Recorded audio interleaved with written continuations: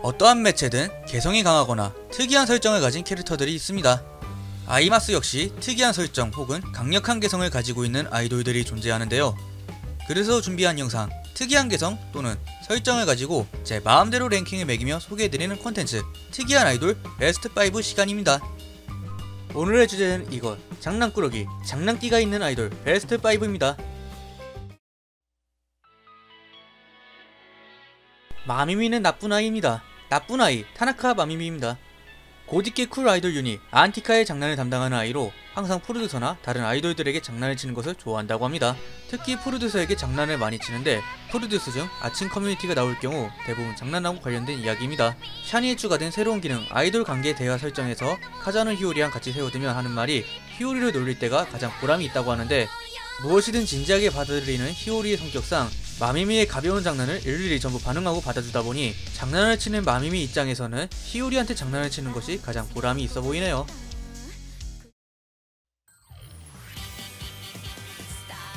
한참 장난을 좋아하는 활발한 소년 타치바나 시로입니다.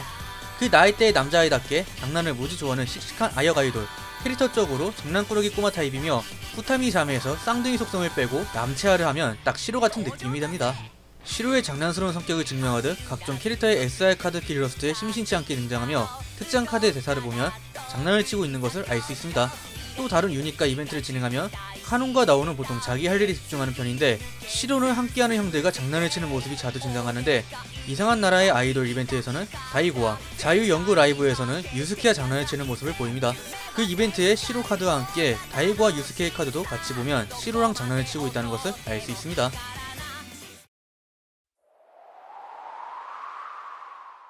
미시로 대표 악동 장난꾸러기 코세키 레이나입니다. 자신의 행적을 하나하나 전설로 남기고 싶어하는 악동 중의 악동으로 하는 장난의 빈도는 장난을 넘어 악동의 영역을 달리지만 항상 자기 꾀에 자기가 넘어가는 허당입니다. 레이나의 첫 성우 배정과 등장한 극장 애니에서는 일부러 바닥에 바나나 껍질을 떨어뜨리고 소금을 잔뜩 넣은 과자를 몰래 준비하지만 하필 걸린 애들이 맨날 넘어지는 도묘지 칼인 불운의 끝판왕을 달리는 시라기쿠 호타루가 걸려 오히려 불운을 자기 때문이라고 하는 훈훈함을 만들고 맙니다. 그 외에도 장난을 치면 항상 본인이 당하거나 이상하게 끝나는 경우가 많다네요.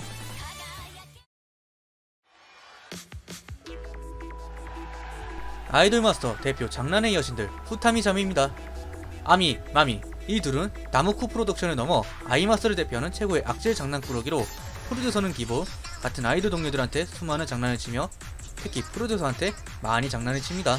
2020년 생일날 커뮤에서는 둘다 프로듀서한테 장난치는 용 뱀을 받았는데 받자마자 하는 말이 프로듀서한테 쓰겠다는 걸 보면 한참 장난이랑 재밌는 일을 좋아하는 나이대인 만큼 항상 떠들썩하며 장난을 많이 치며 그 나이의 애들답게 시모네타도 좋아한다고 하네요. 항상 이런저런 장난을 치다 보니 똑부러진 리츠코는 물론 시어터 위원장이 코토아한테 혼나는 경우가 많다네요. 이렇게 5위부터 1위까지 알아봤습니다. 남자애는 기본, 여자아이들도 장난을 참 좋아하네요. 특히 1순위에 가까워질수록 어려지고 장난의 빈도가 많이 심해지며 말을 참 안 듣는 애들 뿐이고요. 특히 악질의 여왕 레이나와 아이마스의 대표 장난꾸러기 후타미 자매 이 아이들은 역시 뺄 수 없죠. 이 엔트리 중 여러분들이 생각하시는 1위는 누구인가요? 또 이 엔트리 외에 장난을 치는 아이들이 있다면 댓글로 같이 공유해보세요. 그럼 이번 영상 여기서 마치겠습니다. 언제나 랭킹, 주제, 댓글로 받고 있으니 재미있을 만한 랭킹 주제 많이 알려주세요. 그럼 안녕